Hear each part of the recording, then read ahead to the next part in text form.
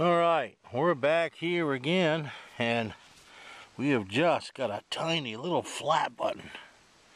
Man, it's smaller than a dime.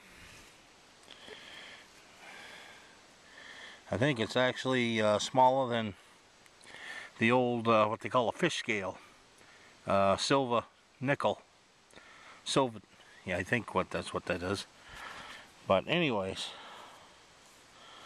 look at that. That shank is still all intact. Sorry, my big fat fingers here. But, uh, look at the depth of the hole. My digger.